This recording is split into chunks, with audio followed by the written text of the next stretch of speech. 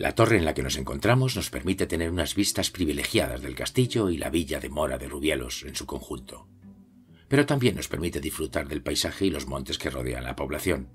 En primer lugar, en dirección este, encontramos el monte Inebral, junto al barranco de Más de Perales. Continuamos hacia el sur-este con el pico El Sombrero, Más de Salto y Olla Quemada.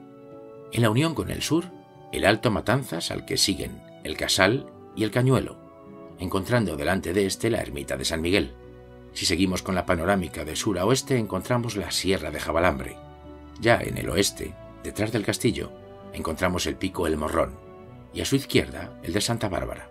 Finalizamos esta vista panorámica con la Sierra de Gudar al norte.